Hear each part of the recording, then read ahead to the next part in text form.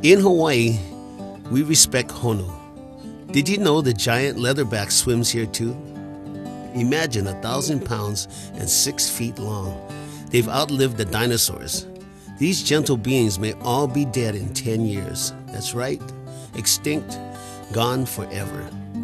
Leatherbacks need you. Visit World Turtle Trust online to help. We're saving turtles.